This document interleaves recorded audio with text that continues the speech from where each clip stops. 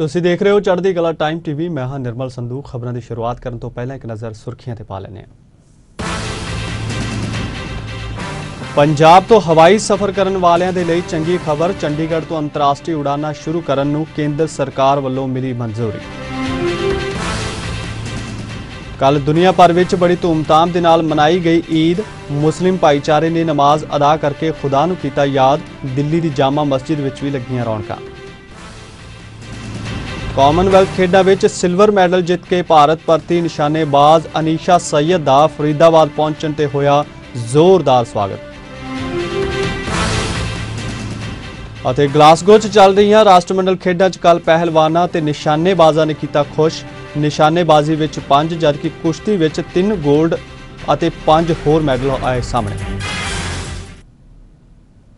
ਜੀ ਬ੍ਰਿਟਨ ਦੀ ਤਫਸੀਲ ਤੇ ਸਭ ਤੋਂ ਪਹਿਲਾਂ ਸ਼ੁਰੂਆਤ ਕਰਦੇ ਹਾਂ। ਹਮ ਖਬਰ ਦੇ ਨਾਲ ਪੰਜਾਬ ਤੋਂ ਹਵਾਈ ਸਫ਼ਰ ਕਰਨ ਵਾਲਿਆਂ ਦੇ ਲਈ ਚੰਗੀ ਖਬਰ ਹੈ। ਚੰਡੀਗੜ੍ਹ ਤੋਂ ਅੰਤਰਰਾਸ਼ਟਰੀ ਉਡਾਨਾਂ ਸ਼ੁਰੂ ਕਰਨ ਨੂੰ ਕੇਂਦਰ ਸਰਕਾਰ ਨੇ ਹਰੀ ਝੰਡੀ ਦੇ ਦਿੱਤੀ ਹੈ। ਇਸ ਦੀ ਜਾਣਕਾਰੀ ਕੇਂਦਰੀ ਰੱਖਿਆ ਮੰਤਰੀ ਅਰੁਣ ਜੇਤਲੀ ਨੇ ਪੰਜਾਬ ਦੇ ਮੁੱਖ ਮੰਤਰੀ ਪ੍ਰਕਾਸ਼ ਸਿੰਘ ਬਾਦਲ ਨੂੰ ਇੱਕ ਚਿੱਠੀ ਲਿਖ ਕੇ ਦਿੱਤੀ ਹੈ। ਸਪਾਈਸ ਜੈਟ ਤੇ ਇੰਡੀਗੋ 에ਅਰਲਾਈਨਸ ਨੂੰ ਇਸ ਤੋਂ ਪਹਿਲਾਂ ਹੀ ਚੰਡੀਗੜ੍ਹ ਤੋਂ ਉਡਾਨ ਭਰਨ ਦੀ ਇਜਾਜ਼ਤ ਦਿੱਤੀ ਜਾ ਚੁੱਕੀ ਹੈ। ਜੇਤਲੀ ਨੇ ਇਹ ਵੀ ਦੱਸਿਆ ਕਿ ਮੌਜੂਦਾ ਸਮੇਂ ਵਿੱਚ ਚੰਡੀਗੜ੍ਹ 'ਚ ਸਿਵਲ ਹਵਾਈ ਉਡਾਨਾਂ ਦਾ ਸਮਾਂ ਸ਼ਾਮ 8 ਵਜੇ ਤੱਕ ਹੈ ਤੇ ਅੰਤਰਰਾਸ਼ਟਰੀ ਉਡਾਨਾਂ ਸ਼ੁਰੂ ਹੋਣ ਤੋਂ ਬਾਅਦ ਇਸ ਸਮੇਂ ਨੂੰ ਵੀ ਵਧਾ ਦਿੱਤਾ ਜਾਏਗਾ।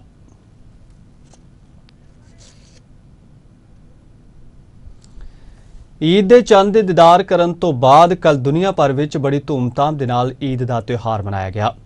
ਕੱਲ ਸਵੇਰ ਤੋਂ ਹੀ ਮਸਜਿਦਾਂ ਦੇ ਵਿੱਚ ਰੌਣਕਾਂ ਲੱਗੀਆਂ ਹੋਈਆਂ ਸਨ ਅਤੇ ਮੁਸਲਿਮ ਭਾਈਚਾਰੇ ਨੇ ਨਮਾਜ਼ ਅਦਾ ਕਰਕੇ ਇੱਕ ਦੂਜੇ ਨੂੰ ਈਦ ਦੀ ਮੁਬਾਰਕਬਾਦ ਦਿੱਤੀ।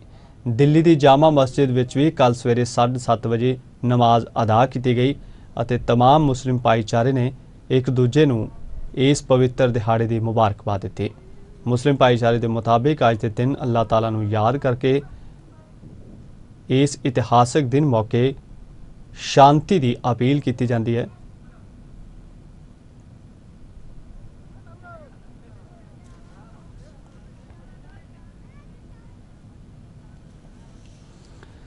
ਜੀ, ਉਧਰ ਪੰਜਾਬ ਦੇ ਵੀ ਵੱਖ-ਵੱਖ ਸ਼ਹਿਰਾਂ ਵਿੱਚ ਈਦ ਦੇ ਤਿਉਹਾਰ ਮੌਕੇ ਮੁਸਲਿਮ ਭਾਈਚਾਰੇ ਨੇ ਲੱਖਾਂ ਲੋਕਾਂ ਨੇ ਨਮਾਜ਼ ਅਦਾ ਕਰਕੇ ਇੱਕ ਦੂਜੇ ਨੂੰ ਗਲੇ ਲਗਾ ਕੇ ਈਦ ਦੀ ਮੁਬਾਰਕਬਾਦ ਦਿੱਤੀ।